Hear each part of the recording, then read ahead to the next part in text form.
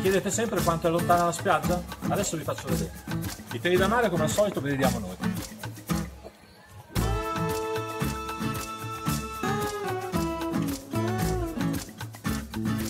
La spiaggia qui a Bellarigia Marina è davvero molto, molto bella, per le famiglie e le coppie è l'ideale.